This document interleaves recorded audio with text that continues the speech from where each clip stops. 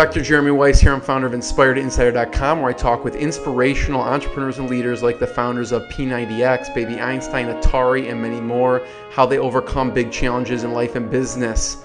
This is part of the Skubana e-commerce mastery series where top sellers and experts teach you what really works to boost your e-commerce business. We have the perfect person today for that. Skubana is a software platform to manage your entire e-commerce operation. Today we have Steve Chou. He's founder of Bumblebee Linens and My Wife Quit Her Job.com. Now, Steve's a smart dude. How do I know that? He's got a bachelor's and master's degree in electrical engineering from Stanford University, top that. He not only runs multiple six figure businesses, but he's a hardware engineer by day, entrepreneur by night. In addition, being a husband and dad of two kids. We met at mastermind meeting that John Corcoran and I put together in San Francisco. Steve, good to see you again. Good to see you, man. I just want to uh, note, see, I, I use that hardware engineering degree very wisely in selling handkerchiefs at my store. So. that background comes all that education, yeah, it comes in handy, right? You know, I have a lot to talk to you and a lot of questions about you know running several multiple uh, six-figure businesses, your hardware business. You know, what's the hardest part about balancing two kids, multiple businesses, and full time job for you? Okay, so the hardest part for me actually is making sure that my business ambitions don't kind of eat into my primary objective, which is hanging out with the kids and more time with family. Mm-hmm. There's this tendency to just want to grow your businesses right. faster and faster, putting in more time.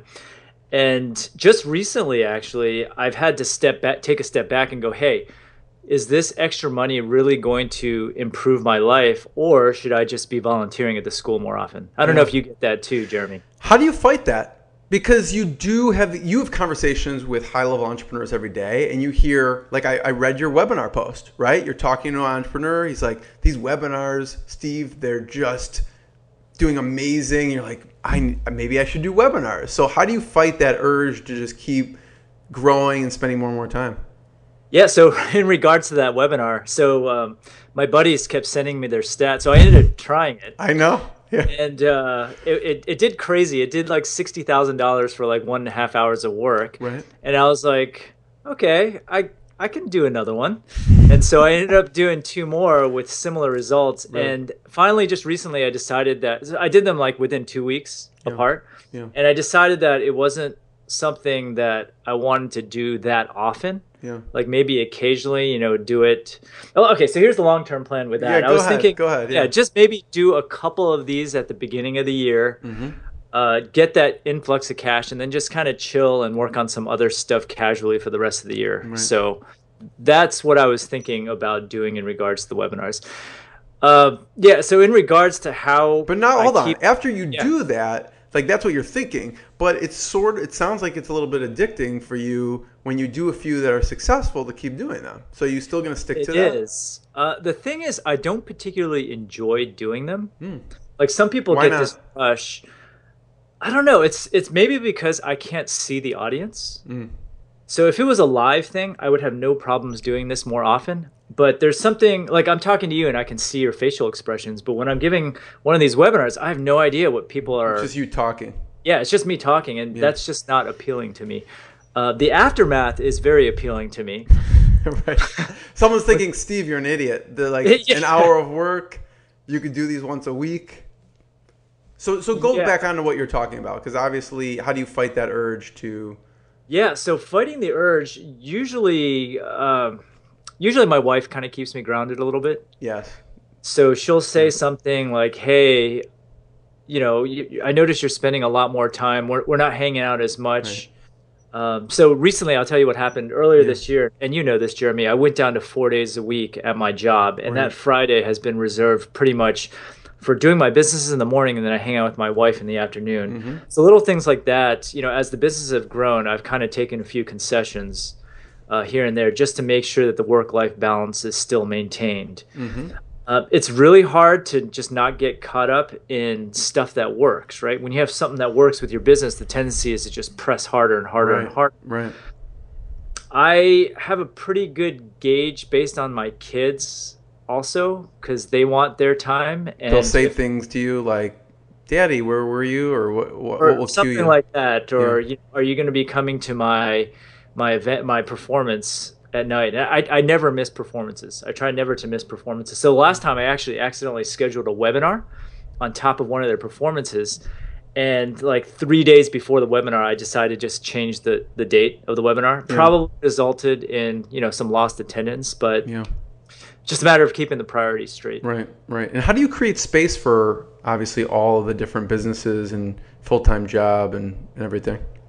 Yeah, so I run an e-commerce store, a blog, a podcast, and a course that teaches that stuff. So, in terms of the e-commerce store, my wife pretty much runs that day to day. So we got a warehouse, we got employees that are, you know, fulfilling orders, and so she's pretty much on top of that. The only time I kind of intervene with that is when there's tech issues involved. So if the website needs a little revamping or whatnot, that's when I get involved. Yeah. I also handle all the pay-per-click marketing and all that stuff uh, for the store Yeah. uh, which kind of all is all intertwined with my blog. So on my blog, for the people who aren't familiar with it, I use the blog to kind of talk about how I run the business. Yeah. So whenever I try something new with the store, I write about it on the blog. So it's all kind of related. For sure. Yeah, and that's um, you know, my wife quit her job.com. And there are some really extensive blog posts which I'm gonna ask about. Um, really interesting information. Um, but I want to talk about a little bit about the e-commerce portion of things, Okay. Steve. And um, maybe I should have your wife on at some point. Does she go on any podcasts? She does not. She's actually very shy. She doesn't like going. So am I. That's okay. Um, so, what's a must for sellers to boost sales? Like, obviously, you started the Bumblebee Linens in 2007. How, how long ago That's was correct. it? Yeah, Yeah, 2007. 2007. So, Yeah. what what have what's worked throughout the years? Because I know obviously in the beginning certain things worked, and then now take me through maybe the evolution of what worked then and through today about boosting sales. Yeah, so just in terms of finding something that's going to sell, I think the most important aspect is finding something that's unique, you know, about your business. I don't know if you guys are familiar with the e-commerce landscape right now. What a lot of people are doing right now is just taking stuff that they're getting from China and just throwing it up on Amazon. Right. And it's it's doing well for a lot of people, but my opinion for that long term is unless you're kind of adding value or if you're selling unique products or or doing something or adding value, you're probably not going to be around in the long haul, Yeah. right? So for us, I think it's a short term play. Like when people are doing that, short term is not a long term sustainable business. short term meaning probably under three years ish before like everyone just starts doing the same thing Mm-hmm. Right. and the margins start eroding. Right. So what we try to do with our business is we try to add value and and we try to do stuff that's hard to do. Yeah. And so I'll just give you an example. Yeah. Um, we actually custom personalize all of our stuff, and that actually involves spending money on capital. We need to get the machines that do it. Someone needs to run these machines. Someone needs to press the final product before it's shipped out. Yeah. That's something that Amazon can't really take away from us Yeah. because it's it's much harder to do Yeah. There's a barrier of entry there. Yeah. there's a barrier to entry there and we also try to pick one thing with our shop and just do it very well Mhm. so for our shop our one thing is handkerchiefs we carry the largest selection of handkerchiefs very niche product right, very niche product not a lot of stores sell them and we just do it better than anyone else Mm-hmm. So yeah, talk about that. So you Yeah. have that now. You're in 2007. Mm-hmm. What's working? Obviously, you've come to all these lessons and realizations now. What's some of the evolution of what worked to actually sell these Yeah, yeah. handkerchiefs? So I can tell you this: uh, over the years, so when we first started out, we were just a shop, right? Just a listing of products. We had our value propositions on every page that you know we specialize in handkerchiefs. We'll personalize everything for you.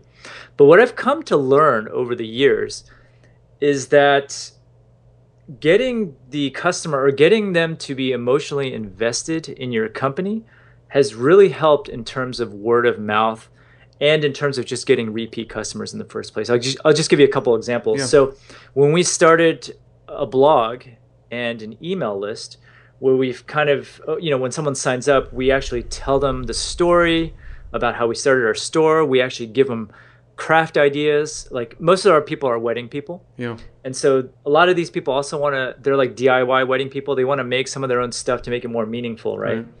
And so for those people, we actually offer craft tutorials Hmm. uh, we teach them how to kind of personalize their wedding using our products. And a lot of our customers like that.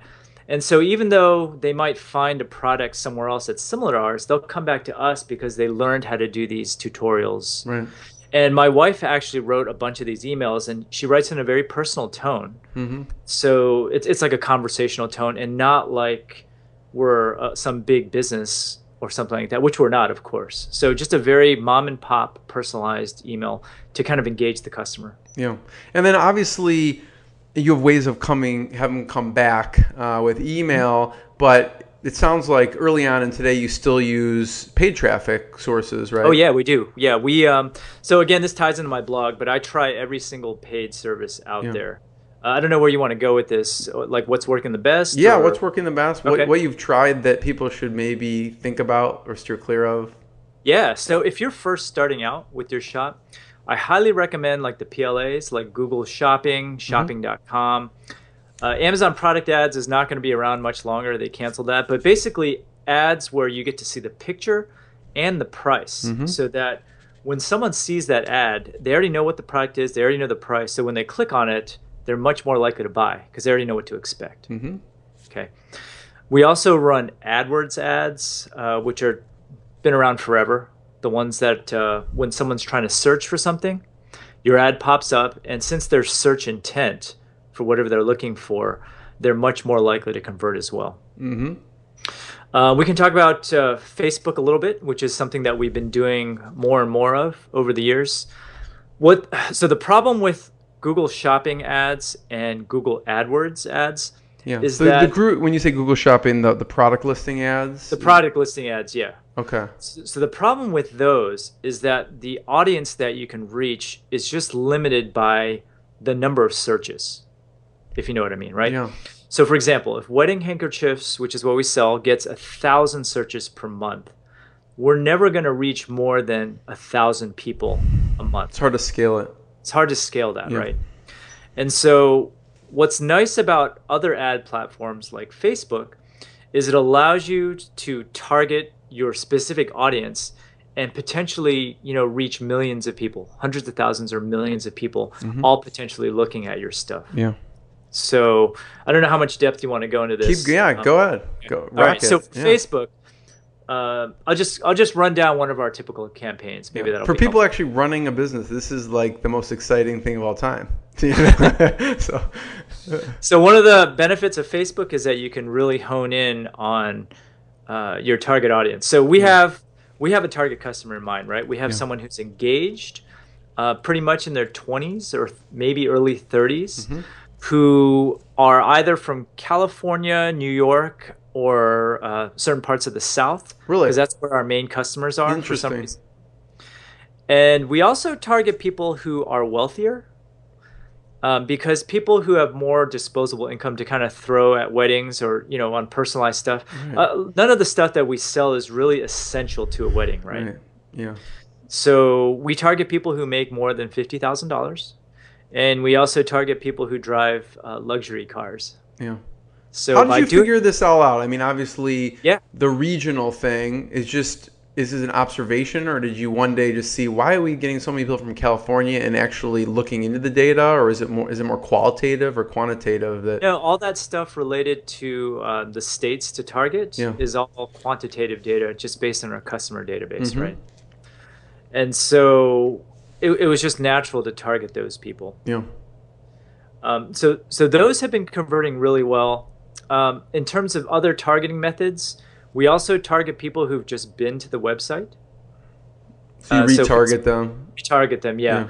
What's cool about Facebook now is that you can set a pixel and you can actually show a potential customer the exact products that they looked at in the ad. Mm, that's really cool. So- Yeah, so let's say they looked at product A, B, and C, they're going to see an ad with product A, B, and C on it. They're much more likely to click on it and much more likely to convert. mm-hmm. And uh, another feature of Facebook that's really cool also is lookalike audiences. So you can upload your entire customer list. Facebook will give you a demographic that's within 1% of the people that you've uploaded. And then you can yeah. run ads on them as well. Yeah. So What do you use for retargeting? I just use Power Editor. Yeah.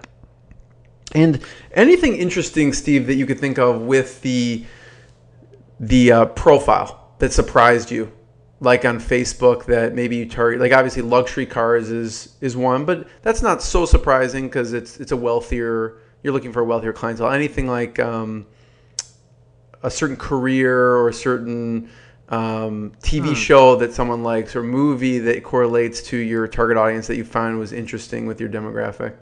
No, we didn't. Um, so uh, I can give you one thing. So we hmm. we've also targeted people that read Brides magazine. It's Like you know, in the wedding industry, it's pretty obvious based on what they're liking. So Brides magazine, Modern Bride, all those things as mm-hmm, well. Mm-hmm. Not so much some of the parameters that that you were yeah. talking about. Uh, That's interesting though, because with a wedding, like you have a certain time frame, and if you don't yes. get it within that time frame, it's like they don't need you anymore. If it's for a wedding, obviously. That's correct. Yeah. So there's other classes of customers also, um, which if you want, we can talk about. Yeah, go ahead. Well. Yeah. So one of the benefits of having your own shop also is that you have this opportunity to target B2B customers as well. Yeah. Talk about that because I think people are thinking B2C, and I know you have a a, a bigger vision of getting more sales at once. So yeah, yeah talk totally. about that. Yeah. So what's nice about B2B customers is they're always coming back, and they're always buying in bulk and you pretty much don't have to go out and seek these people. They're loyal to you. It's not like they're out price shopping because they're coming to you because you provide a service for them and you're reliable. Mm-hmm. And so for our store, we also target event planners, uh, wedding planners, and we've actually gotten a decent amount of traction within hotels and airliners uh, of, of all places. Really? Yeah. So uh, one of our customers buys napkins from us for their jets, for their private nice. jet service. We also have a bunch of hotels and bed and breakfasts that use our stuff as well. And then, of course, the event planners and whatnot, they, they buy the handkerchiefs and whatnot. So we so the way we we find these people is whenever someone places a large order, they get flagged in our system and we set them aside. Whenever people buy more than once, which as you mentioned is, is a little unusual, right? Unless they're getting divorced real quick and getting married, Horrible which is highly situation. unlikely. Right, yeah, exactly. highly unlikely. Um, so those people who buy more than once, that kind of tells you something, right? Especially since you're in the wedding industry. Right. Maybe they're doing this as their own business and they're buying supplies, mm. or they run some sort of larger business that requires our products. Mm-hmm. So we single out those people and we contact them directly, offer them coupons, try to establish a conversation on the phone or whatnot. Mm-hmm. And you're good about this because I know that you talk to your customers actually you guys talk to your customers on the phone. What have you discovered that's interesting from some of these conversations that shifted, whether it's a product or something you do on the site? Yeah, I can tell you a good example. So yeah. what we found is that brides they always wait till the last minute to do stuff, always, right? And so they want something personalized, which takes time to to get done. They want it last minute, and so one of the one of the things we changed on our website is one of our value propositions now is extremely fast turnaround times. Mm-hmm, mm. You need something really quick, you just contact us on the phone. We'll make sure it happens. Mm-hmm. So that's one of our value propositions yeah. that came about because of all these phone conversations that we had. Right. They want it right away. Yeah. Yeah. So tell me, talk about the platforms because I know that you on your site you talk about Amazon, you talk about eBay, your site. What what platforms are are you on, and what do you recommend others you know test out? Yeah. Um, so right now we're on our own open source site, yeah. and we're also selling on Amazon.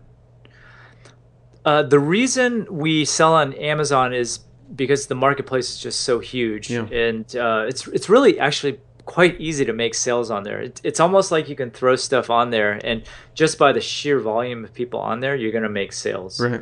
And of course, the reason why we have our own site is so that we can have access to our customers, our customer list, so that we can kind of remarket to them yeah. and, and, that sort of thing. So I think it's very important to have both. Yeah. Uh, was your question in regards to the actual platform? Yeah, like Amazon, okay. your own site. Do you do you use eBay or do you recommend people try it or any other, you know, shopping platform out there? Yeah, so it's a trade off, right?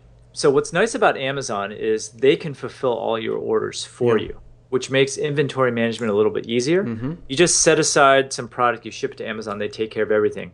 And so you can make additional money outside of your shop without much effort. Problem is when you go into eBay, Then you have to start worrying about inventory across different channels. Yeah. You have to worry about fulfillment to a new platform.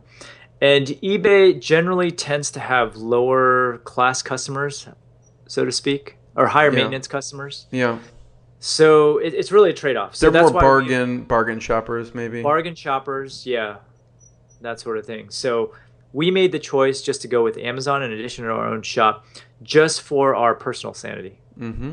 Yeah. Yeah. And so, tell me about. Do you do a lot of then FBA? Because it sounds like you have your own warehouse. You don't. You don't really. You wouldn't utilize that as much. Yeah, no, we definitely do everything FBA. And the reason is because when you're FBA, you get Prime. Mm-hmm.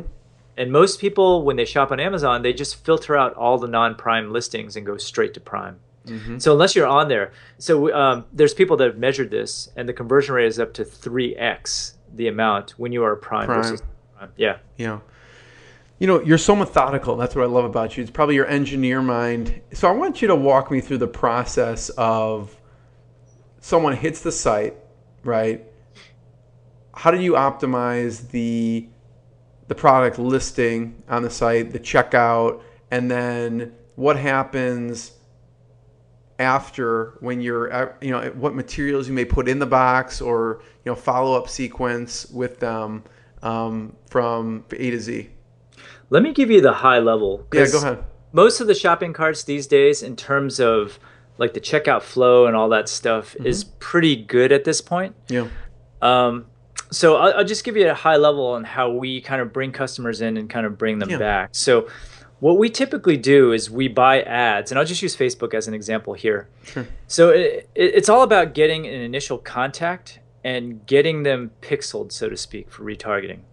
So we'll try to Talk steer dirty to me, people- Steve. When you, when you say pixel. so that retargeting pixel that we're talking about. yeah. So we want to engage the customer initially through some piece of content. Okay, and so Yeah. so for example, we'll run an ad to a landing page that gives a, a decent amount of informational content. So just to give you an example, we have this post called nine unique ways to make your wedding extra special, you know, from a DIY perspective. Love it.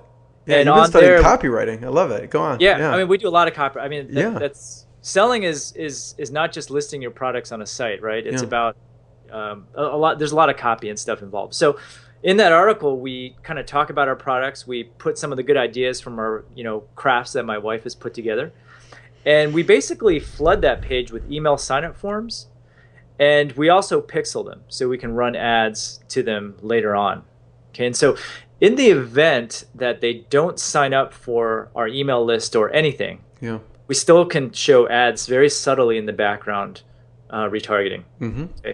In the event, though, that they do sign up for our email list, we offer a freebie, which is a book of crafts. And then we have an email autoresponder sequence that right now is 20 emails long, Mhm. going out once a week. Mhm. That kind of talks about our company. We provide more crafts. And then, kind of interspersed in there, are links back to our shop where they're incentivized to make a purchase. Mm-hmm. So it's really sprinkled in with the content. Most of it's content. Yeah. Yeah. Um, so those people that actually end up clicking on a product or looking at a product, as I mentioned before, we have Facebook ads that show them exactly what product they were looking at and Right. kind of entice them get back. We also have Google retargeting ads, and uh, I don't know how sophisticated your your, your Yeah. listenership is, but you know on all these blogs they have AdSense boxes, right? AdSense ads. Right. And Google pretty much has reach, I would say, over the majority of websites on the internet. And so, same thing. Once you've pixeled that those people, you can actually show the exact same products that they were looking at on practically every single website, you know, out there on the internet. Across internet, the web. Yeah. right? And so, it's it's like a war of attrition, right? So people might not be ready to buy something right away. Right. But if you keep hitting them with emails, you keep Yeah. hitting them with very subtle ads, eventually when it comes time, they're, they're interested in your product, they'll come and buy. Right. Yeah. So, So now they buy. Right. okay, so now they buy. Yeah. And there's a number of things that you can do after as well. So you can run like a win back campaign. So let's say they haven't ordered in 30 to 60 days. Mhm. You can hit them up with another offer just to try to get them back in the store. Mm-hmm. and there's a lot of email programs out there that kind of automate this for it. So we use Klaviyo, and Klaviyo, what it does is it compiles all of your orders, all of your customers, everything, so that you can just hit them. So I can say, hey, someone who hasn't ordered in two months ordered handkerchiefs, um, ordered more than fifty bucks. It'll compile a nice little list, and then I can just fire off an offer, a very specific offer, just to that Mhm. that subset of people. Which Does it do does it do like cart abandonment too, or do you use anything for It that? does it does cart abandonment also, so uh, that's a different thing. Yeah, if they've started checkout and I have their email, uh, what will happen is two hours later, I'll show them an email with the exact contents of their shopping cart and a one-time link, where if they click on it, it just takes them right back to the to checkout with everything that was in their shopping cart. Mm-hmm. And uh, we also have another email that goes out, a, I think, a day later if they still haven't checked out. Another friendly reminder email. Mm-hmm. So so let's say they purchase. Um, you send them something else to you know another offer. What about anything in the actual box that you do that you send off?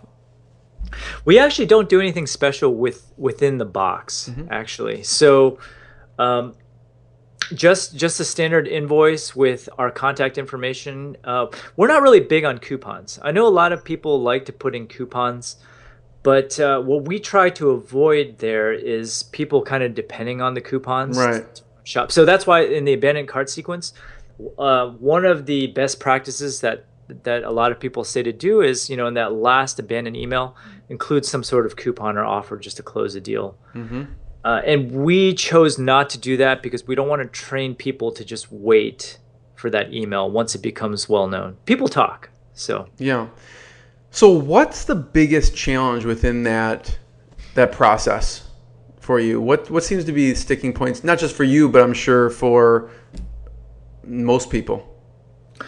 So I would say the biggest challenge in terms of putting together the copy is deciding who you want to target. Hmm. Meaning, what tone do you write the emails to kind of extract the most the most feedback? So I'll give you an example. So my wife usually writes the emails, and then occasionally I'll write one. Mm-hmm. And I remember this is one email that I wrote. I think it was for Father's Day or something.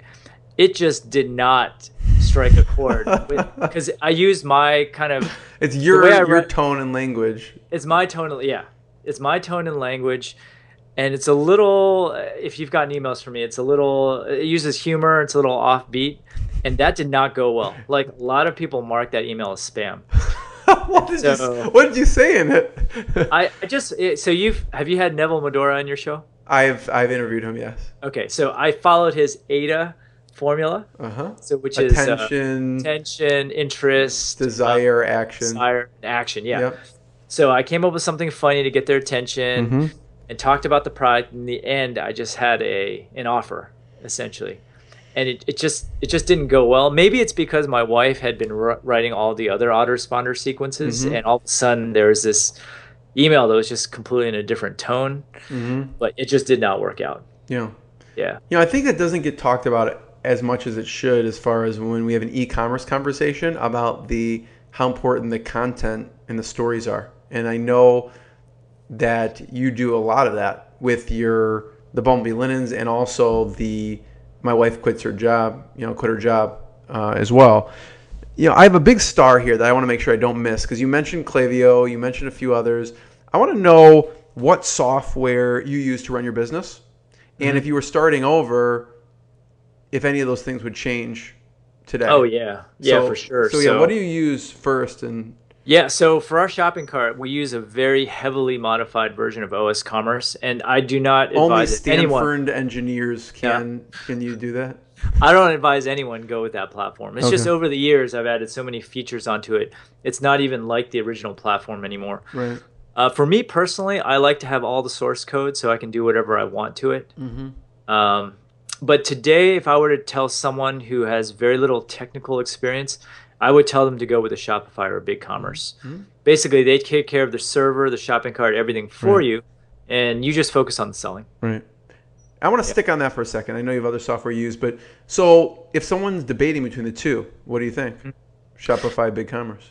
Yeah, I have my own personal. Yeah, this is all Uh, about you, Steve. So Yeah. Oh, is Yeah. it okay? Okay. Yeah. That's all about your listeners. well, yeah, but Uh, they want to hear from you. You're the expert, so I think Shopify is better from an aesthetic perspective, and I think they have a large, larger third-party ecosystem, Yeah. so to speak. What so I if they need modification, people need modifications type of thing. Okay. chances are they'll be able to find a plugin for it. Mhm. What I don't like about them is that you get nickel and dimed. Hmm. So you get a base cart, and then you end up having to buy all these plugins that all have monthly fees, Hmm. and it just slowly adds up. Yeah. Uh, whereas BigCommerce, they don't have as many third-party developers, but just out of the box, the cart is a it has almost every feature that you would need Yeah. out of the box. Yeah. Um, but just from an aesthetic perspective, isn't as good in my opinion. You like Shopify.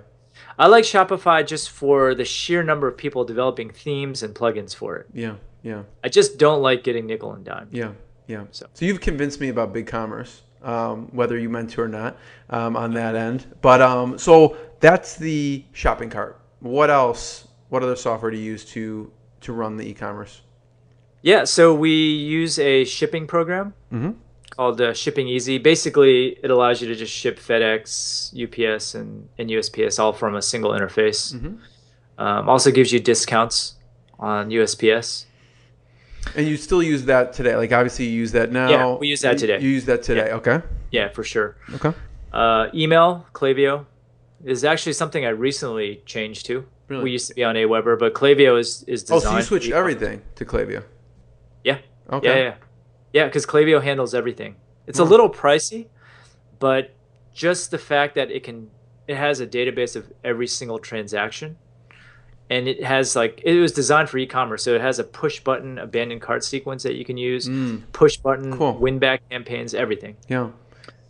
Was that a hard Uh, switch to make from Aweber to Klaviyo? It was a pain in the butt. I had to spend an entire weekend doing the implementation, moving everything over. Yeah.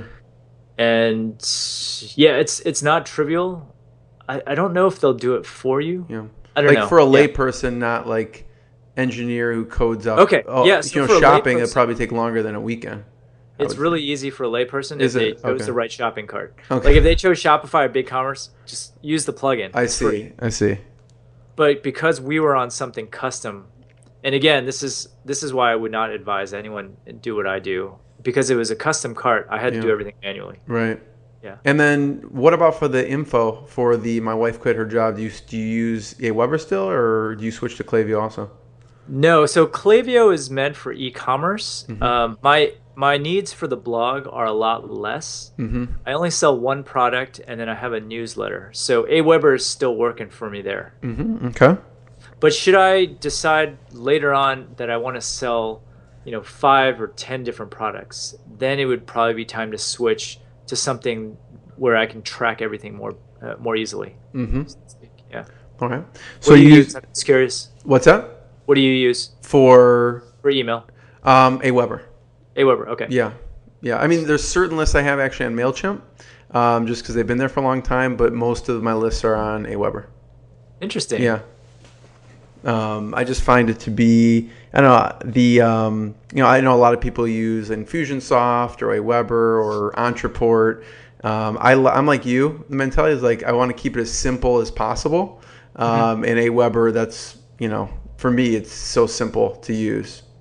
I'm thinking about moving to ConvertKit. Just want to give Nathan Barry a shout out. ConvertKit. Um, ConvertKit. why yeah. why are you thinking? Tell me about that. So a lot of people who blog, at least, they want something in between Aweber and Infusionsoft, right? Okay. Yeah. There's this fear with Infusionsoft that it's just really complicated. and You actually need to hire someone to help get set up, right? Yes, for sure. Biggest weakness of Aweber is that you can't tag the people that you yeah. want, right? You can't, yeah, select and narrow. So you're sending, like you're saying with Klaviyo, you can send a really Yeah. pointed email to a certain population.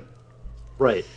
Uh, the other disadvantage, and uh, it's a pain in the ass for me right now, whenever I run a webinar, I create a new list for that webinar, but I could have duplicates from Mhm. other lists going to that Right. webinar. I'm paying for both, Yeah, which which just should not happen. that makes right? sense. Yeah. Yeah. The question is, what would Dan Faggella say about that? Dan Faggella uses Infusionsoft. he does. so- Okay, that's what I thought. Yeah. But uh, ConvertKit, and I've had these conversations with Nathan. I'm not affiliated with it in any way, but Yeah. it's basically Aweber where you can tag people. Mm-hmm. there's no there's no um, shopping cart or whatever that Infusionsoft has. It's basically a step above Aweber, and it's priced similarly. Yeah. So it's, yeah, it's worth testing out for sure. Yeah. Um, so that's email, shipping, shopping cart. What else? Shipping, shopping cart, all of the different um, pay-per-click platforms. Mm-hmm. So we got Bing, we got Google, we got Facebook, we got Pinterest. Uh, I don't know if those are tools. Pinterest is huge for you, right? Pinterest has been doing well for us. Yeah. Uh, we've actually started running Pinterest ads within the last three or four months, mm. and they've been converting pretty well. Really? So I don't have enough data to. I haven't written the blog post yet for it because I'm still collecting data. Yeah. It seems to be kind of hit or miss. Like I'll have a pin that just does really well, and then I'll have another one that just mm. zero conversions. It's like the stock market, like it all evens out to like a plus, but there's some big winners and some big losers type of thing. There are, but the difference is like when I do AdWords, I can usually check the searches and kind of gradually refine everything yeah. until it makes money. But with Pinterest, for some reason, right now is you know, it's like black or white. It's and, either good or not good. Yeah, and I and I I don't know how to tweak everything just yet. But when I figure it out, there'll be a blog post. Do you think it's because it's a newer platform? Why do you think? You know, the, the platform itself actually is is not great right now. I, I for I, ads, you mean? I'm positive that yeah. it's getting better over time. Just even the tracking is a little bit clunky um, for orders, so I end up just double tracking using their tracking mechanism as well as my own on analytics, mm. and so. I'm um, still doing experiments. I don't have anything conclusive to uh, to share yet. Yeah. So I want to stick on the ads for a second, Steve. Okay. So optimizing okay because it's not like you have like a $500 product here you know it's you your product someone may buy what what's an average order like $30 like between 50, 50 and 60 bucks. 50 and 60 dollars um, and some of the you know the items are $15 you know so mm-hmm. how hard is it to optimize to get it so it's profitable and what do you look at to actually get it to that point yeah so some of the advantages of the products that we sell are they don't have huge search volume right? And so as a result, the bids for these clicks mm. aren't that high. So just to give you an example, for some of our handkerchiefs and whatnot, for the stuff that's like 15 or 20 bucks, we end up paying like between 30 and 40 cents a click. Mm-hmm. And our conversion rate's really high because we're the best at that particular product. Yeah. Um, likewise, with services like Google Shopping, conversion rate's super high. So, you know, you can get away with paying more per click there. Yeah. When it comes to like the content based advertising platforms, though, you really have to do a lot of the stuff on the back end and bring them back in order to make it worth it. Mm-hmm. So, so, when I run an example, the, the content based, what would that look like? Like the one I've already said in this interview, mm-hmm. right? Where you have a nice piece of content, you pixel them, you convince them to click on your products, and if they don't buy right away, you bring them back yeah. to your site, whether it be by email or or remarketing. Yeah and that's just the way it's got to got to work for content because a lot of times you know you're surfing on facebook you might not necessarily be ready to buy anything right you're there to check out cats or, or whatever you're into jeremy not cats know. but yes not cats. right and so you got to catch them at the right time and so right. that's why you got to keep them on for a long period yeah um but yeah that's just the nature of the yeah. game so uh, where was I going with this? Yeah, okay. So for something high ticket item like my course, which yeah. sells for like a thousand bucks, right. I can afford to just right spend a lot of money exactly um, and and break even like i gotta yeah that's why it's interesting about the e-commerce because they're lower ticket items. So if you're optimizing that for it must be a piece of cake to optimize a thousand dollar info product. Yeah it's much easier. For your store that's why you got to play all these back end games. Yeah yeah. Right? Um, another thing also is just through your content you're kind of building an audience at the same time. Yeah. So there's a lot of benefits, right? You're going to be getting page likes to your to your fan page. You're going to be just kind of generating some goodwill with the with the content that you're giving out. And so when you do give that offer, the conversion rate is just going to be a lot higher because they feel like they know you as a business. Yeah. Yeah. So what did you learn? Is it your brother-in-law who was at the time when you first started was working for Google or Google uh, Google AdWords? Oh or? yeah, yeah, yeah. He's actually still there. Okay. Um, so yeah, what did yeah, you learn so, from him? that we should he know? just taught me about AdWords in general. So when we first launched our store, this is back in 2007, I had no idea. Uh, so my strategy for getting customers in the door was I was going to pretend to be a female go on the wedding forums and bring people back that way. That that was my first strategy. It actually worked. I just picture you in a wig and you know like a dress or something. but I had an alias. I'm sure my posts are still on there. Um, but you know, I would pretend to be a bride and I'd be like, "Oh, where can I get these, you know, handkerchiefs for my wedding?" And then people would give me advice, and then later on, I would come back and I'd chime in, "Hey, I ended up getting it from this place. It turns Right. out pretty good. And what do you think?" I'd post a picture and that sort of thing. So, um, yeah. So then I talked to my brother-in-law, and he was like, "Hey, you know, AdWords, have, have you tried it?" And I was like, no, I've been just trying to rank naturally in search. And then he showed me a couple things and I just ran with it. And that Yeah. ended up being a pretty big driver for sales early on yeah, for our business. yeah. business. So you talked about establishing a name and getting content out there. Talk to me. How'd you come up with Bumblebee Linens? And then what's your your take on getting your name out there? So, uh, so the na- the way we came up with that name was uh, my wife. She got laser eye surgery, and she ended up having to wear these like big bug-eyed things over her eyes. And so I just used to just make fun of her and call her Bumblebee during that week-long recovery period. And so, That's not what Uh, I was expecting at all. yeah, it's it's a completely random. Uh, I want to. Do you have pictures of that? That would be a great uh, email post. Like, here's why we call Bumblebee Linens with the picture of your, that's your wife. That's actually would, a pretty good idea. your yeah. wife would probably never let you get away with that, but I'd lo- I'd read that post. yeah, that's actually not a bad. I, I'm pretty sure I could dig up a couple photos. Um, but yeah, that's how we came up with the name. Nothing, nothing special. It had a good ring to it, I think. I do. I think it is good. Um, so talk about establishing a name, getting the word out, because I know initially, I've heard you say over and over, you don't love telling your story. You just love kind of the different, just getting to business in the process, but not the the stories. So you're talking about just getting the name about the e-commerce store, or are we talking about You're like the blog? Or Yeah, the blog, the store, whatever. Yeah, whatever fits.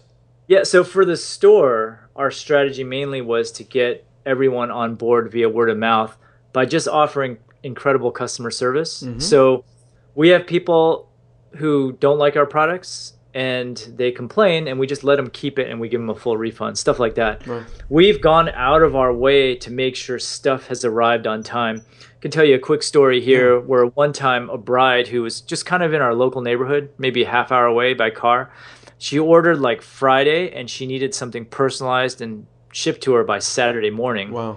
which was pretty much impossible. So we ended up driving it over. Wow. And I'm sure she talked about us after that. We did a lot of those things early on to just kind of get the word of mouth going. mm-hmm. Mm-hmm. Uh, in terms of telling our story, I've kind of reserved those stories for the blog and my wife quit her job because um, that blog is really it, it just kind of chronicles our our story really. Yeah. So I don't put as much of that on the e-commerce store. I, I focus more of that on on you know the personal blog. Mm-hmm. Yeah. So, any other software things, tools you use to run the e-commerce business that people should know about? Yeah, I'm trying to think. So we use this uh, uh, phone app that keeps track of our business expenses. Hmm. That that comes in real handy. Um, uh, we can talk about sourcing, I guess. Yeah, sourcing. So we use um, a tool called Panjiva, which allows you to kind of peer into where other people are getting this stuff from. Oh, cool. We occasionally use Alibaba. We uh, we go to the Canton Fair, which is in China, uh, every other year or every second year, Mhm. which is a place where all these Chinese vendors get together. They have all their samples all together, and you can just visit hundreds all at once. Yeah. It really saves a whole lot of time. So what do you get? think- What do you get out of that? Talk about the Canton Fair for a second, because you know obviously you're selling handkerchiefs. Like how much does it change from year to year? Why do you find it to be valuable to go every other year? Why? Yeah, so two reasons. One, we want to just, you know, hang out with our vendors a little bit more. What we've found over the years is that you get a lot better service from your Chinese vendors Yeah. if you have that face-to-face contact, if you've already established a rapport. Mm-hmm. Because in the beginning, we were getting sent kind of marginal product, and once we started kind of visiting them on a regular basis, they now come to us when they have bargains or some new product. They mm. show us first Yeah. and they end up sending us better quality product. Yeah. Okay. The second reason we go is because the only way to kind of expand your store once once you've kind of saturated your market, so to speak, is to sell new products, right? Right. And so we're constantly on the lookout for new stuff that we can carry in our store. So this past year we launched uh, a personalized apron line. Mm. So like mommy and me aprons. So Nice. you can purchase a matching apron for the for the mom and the daughter, and then you can personalize their names on it. Yeah. And that's been doing pretty well for Yeah. us. So stuff like that. What are some challenges with sourcing that people should look out for when they're first sourcing or even even now? Yeah, I mean that's that's a interview in itself. Yeah. But just to kind of summarize, there's a lot of cultural differences, Mm-hmm. and Yeah, what's a cultural difference? What would be an example? you don't want to be like American, so to speak. I, Like you want me to look you- like you? Yeah. I don't get it. uh, you don't want to be just too direct to the point. Like you want to you want to be very professional and and you don't haggle on price in the very beginning. It's it's all about the relationship. Contracts mean nothing. So instead of haggling and stuff, what I usually do is I try to get multiple quotes from a bunch of different vendors and then Mhm. just kind of piece together what the what the price is going to be there. hmm Um, I'm not really pushy on certain things. I uh, uh, so here's another thing that's that's very important. Yeah. You have to specify everything to the detail. So, for example, we sell napkins in our store. Now you would think it's just a piece of square fabric, Right. but you have to specify the color. You got to specify the the fabric, the thickness, um, how it's going to be delivered, the packaging, everything. Because if you don't specify everything, they will just kind of gloss over the details and just ship it to you however they however they want. Right. Right. Whereas I feel like the people in the U.S. that we've worked with usually you they ask you the details, some that you might not even have thought They're of. walking you through it more than just what do you want and sending it to you. Right. Yeah. So the difference is when you're, and, and of course I'm generalizing here. Not not all Asian vendors are like this, but if you don't end up specifying everything, they'll try to cut mm-hmm. corners and, and give you what you want mm-hmm. because you didn't specify Yeah. something. Now, do you recommend? Is there any like intermediary that people can use to like have someone on site there? Obviously, you go over there, but if someone maybe they don't want to Yeah. go over there, they can't. Is there some something like that? So it, it all starts with uh, having this checklist of stuff that you want in your product that you kind of convey to your vendor. Yeah. And then once the product is manufactured and ready, you can pay a small amount of money and have an inspector sent over Mm-hmm. to the warehouse Yeah. and just take a look. Like Yeah. what they'll do is if you have a huge shipment, they'll spot check everything. Yeah. Because you're making make- a huge investment. You know. You are. You Yeah. are for sure. And so you have this list that you've already prepared on what your product should look like. Yeah. You give that over to the inspector, they spot check stuff, and if there's a problem, you can track it down before it gets shipped over to the US. Mm-hmm. Because once it makes the US, there's not that much there's not much you can do Yeah. at that Right. So, Steve, talk about you know you mentioned expanding the store, and that's big, right? So, what things, what are best sellers, and what what's has surprised you with what's actually sold or not sold that you thought would? Yeah, so uh, I'm not going to answer that question exactly, but I'll just give you an example of something that was unexpected. Yeah. So initially, when we first launched our store, we were not actually targeting wedding people. So we were actually targeting embroiderists and people who would use our products to make stuff. Hmm. And so, same exact product positioned a different way Yeah. was not making sales. And it was only after we positioned it towards weddings and other special occasions did the sales actually start rolling in. Mm, love that. Yeah. So what's funny about that is in our store we sell the exact same products across different categories, but we change the verbiage a little bit Mm. so that it applies to different different people that might be interested in it. mm-hmm. So That's great. I love that. It goes in that you're like a copywriting master over there. So I'm not a copywriting master, but I have learned to to choose like a target customer and then Yeah. tailor a certain page for that. Yeah. Yeah. Yeah. So, what's next? Like, obviously, expanding the store. What what products do you see that you're gonna test out, and and how how much do you go to test out? Because obviously, it's capital to, you know, that you could be spending on something else. Yeah, so in terms of the store, we usually just always start out with like a small test order just to Mhm. see if things are going to sell. We'll just throw some ads at it and see if it sells. And only after that initial order sells do we actually place that bulk order. So it's it's pretty safe the way we proceed there. Yeah. Um, and in terms of future expansion, typically my, my wife's in charge of all the product selection because Yeah. I, it's it's not my. I wouldn't you know, want you choosing any. Yeah, linens, exactly. Actually, Yeah, come you to don't want me of it. writing emails either, right? So- don't write emails. Don't choose linens. Just optimize, Steve. Go in the corner and optimize the ads. Um, so as we talk, Steve, it makes me think of one thing: is most people talking about this stuff aren't as open as you. You know, and especially someone who teaches a course on it, they're not as open as you, because they're worried about whatever it is, someone knocking them off or doing what they're doing. Why are you so open about all this? Um, that's an interesting question. So I, I'm open about it for for a couple reasons, I guess. One is, you know, I just want to document this stuff on the blog, right? Yeah. And then two, I've found that being open has had a positive effect on sales, Yeah. right?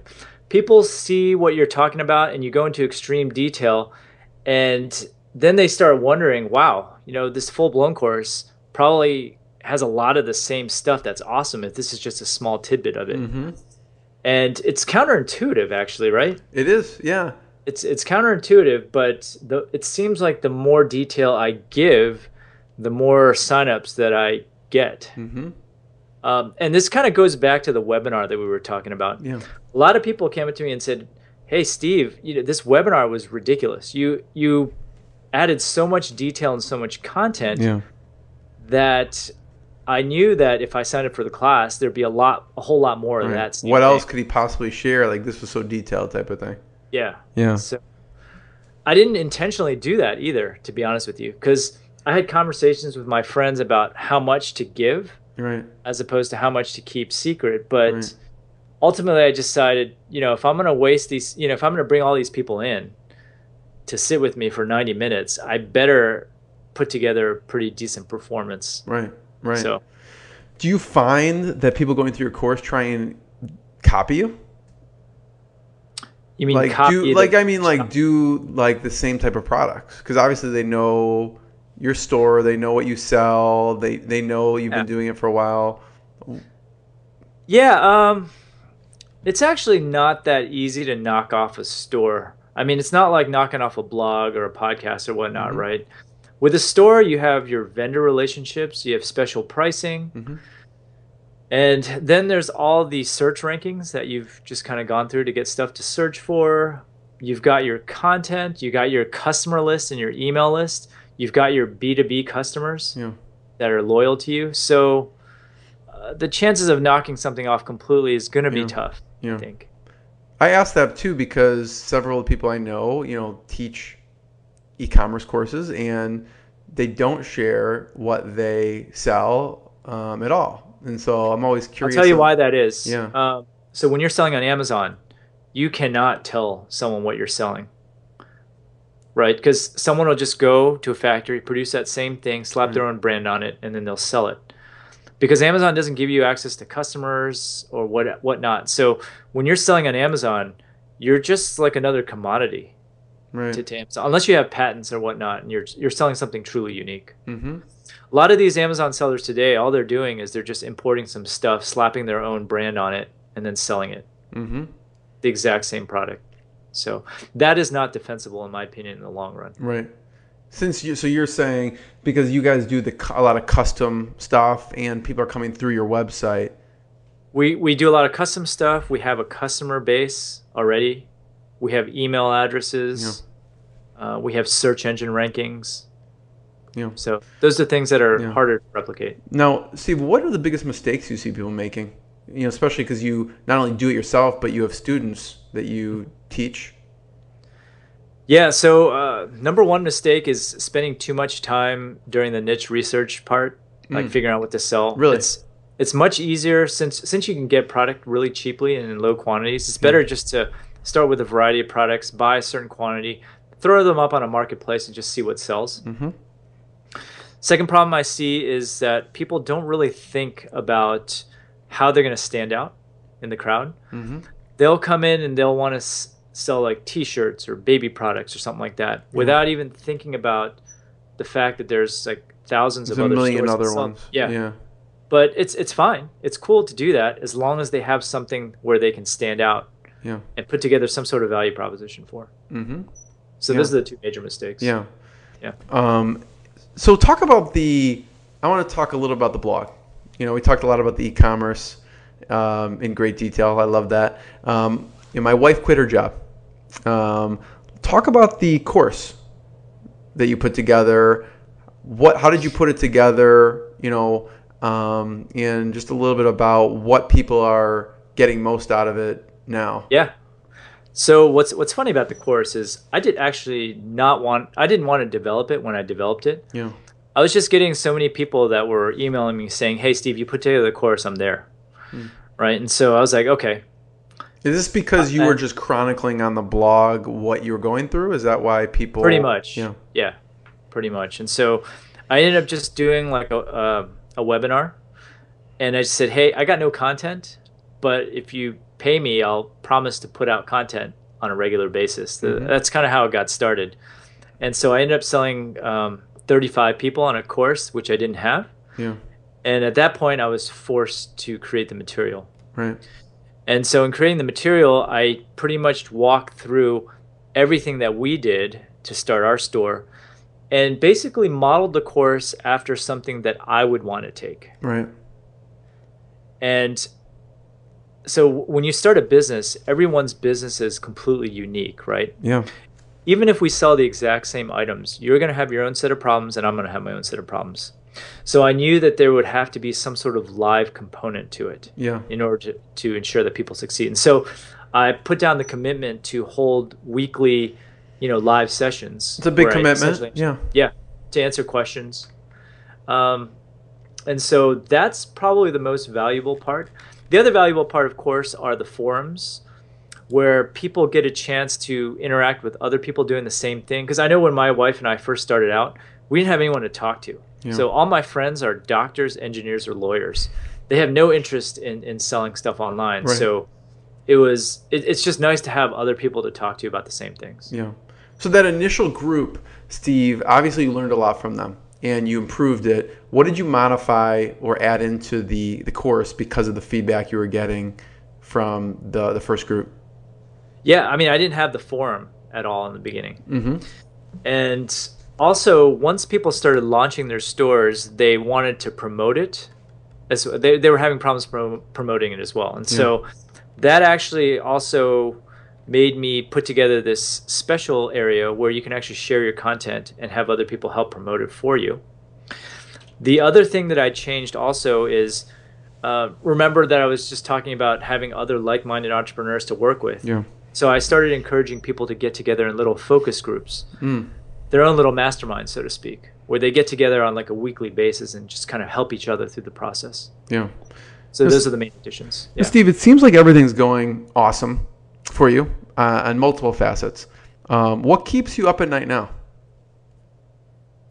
That's a good question. So we've we've talked about this a little bit in the past, but all of this stuff, you know, e-commerce, blogging, and, and teaching, it, it's all fine and good, but in terms of like true mental stimulation, it's it just doesn't quite do it for me. Yeah. So that's one of the reasons why I still work my day job. So I, I design microprocessors for a living, and it's something that I've studied all my life, right? Mhm. And it actually involves a lot of brain power to just kind of put together these designs. And so, give people an idea. step- Give people an idea before you say that.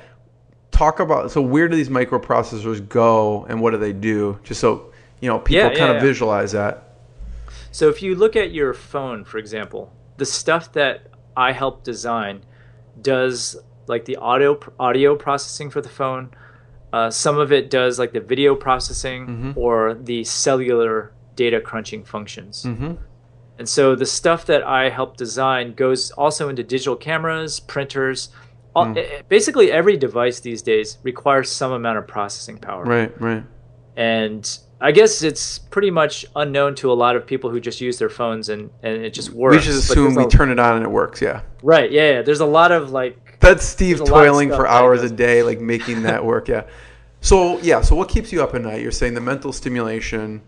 Mainly the the the balance between stimulating myself mentally as Yeah. well as not sacrificing all of my time and and allowing some time for kids and family. Yeah. essentially.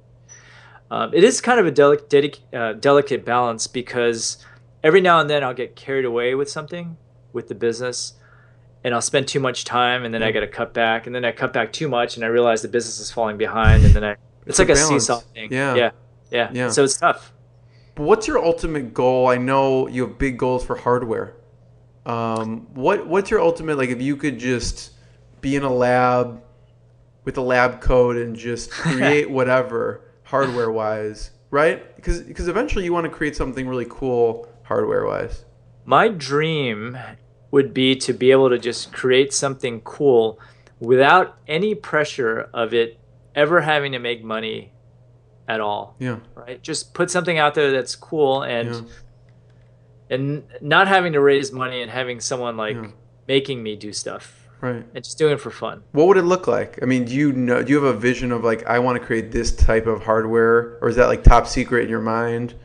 I, I don't have anything yet. And what's funny is I was just talking with Maneesh uh, last week, Maneesh Sethi, uh, Pavlok, the Right. Pavlok. Yes. Yes. right? Yes. Um, If just no one knows what that is, it shocks you if you don't do something right that, Yes. you, that you should be doing. Yeah. Right, right. So I was chatting with him about just how cool and how fun it is to, to just make something, Yeah. whether it be a wearable or, or something tangible. Right. And so that's just something that I, I know I want to do eventually. hmm Yeah. So when it hits you, nothing's hit you yet, as you're saying. Like when, when you have that urge to to have that itch to do it, then you'll do it, but nothing as of now. I kind of know how I would proceed hmm with developing something, Right. but the actual functionality of what I want to do has not been determined yet. Yeah. I'm just wondering if you're like a mad scientist. You have like these papers, like I have, like of like just you jot all these ideas down. Like, do you have any idea pads of what, like when things come to you? I have Trello Okay. What What are Yeah. some things on there that maybe you're not doing that? related to hardware software, right? Yeah. Nothing right Nothing. Nothing right now. Nothing. Because mainly uh, right now work is kind of consumes my mind for that stuff right now. Everything consumes your mind. Yes. Yeah. Um, yeah, so I have different Trello boards for everything. Like I got one for the e-commerce store, the podcast, and the blog. Yeah. Um, Yeah. What needs to get done. So Steve, this has been hugely valuable. You know, I really appreciate your time. Obviously, people would see you're a busy man. Um, my last question, before I ask it, just point people where should we send people online to check out more of what's going on with you? yeah, so you can go to mywifequitherjob.com.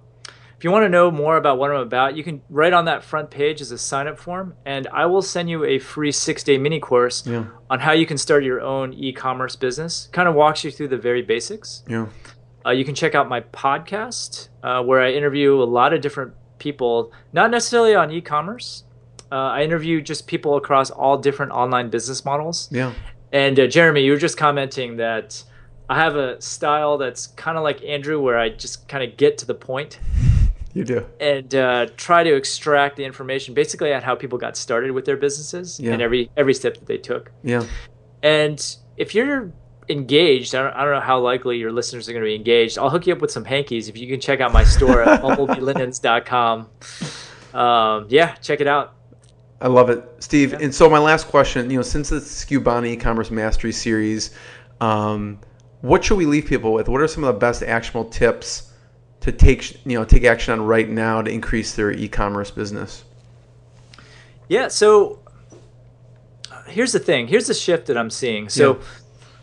because Amazon is kind of commoditizing product sales, I think it's more important than ever to actually go out and establish your own presence or your own brand, so to speak. And so I think it's important to just put out content. And you know, for a blogger, that's easy to do. But for some reason, a lot of e-commerce stores don't think that way. Mhm. You know, put out content. So by putting out content on a regular basis, you're kind of establishing mind share. Yeah. And once you have that mind share and that email list, it makes selling a lot easier. Um, let's say you want to start and sell a, a completely different product. Yeah. Give a few examples. Yeah. Yeah, so for example, we sell hankies, right? And by getting their mind share and, and an email list, whenever I want to launch a new product and I want to just get instant sales, I mm. can just send out an email and they might just buy from me just because they like me or my story, right? right? It becomes a little bit less about the product and more about who they're buying from. Right, right. And I think in order to stay relevant in the long haul, you kind of have to establish that mind share. That relationship, yeah. Yeah. Yeah. Great advice, Steve. Thank you so much. It's been an absolute pleasure. Yeah, thanks for having me. Yeah. Take care.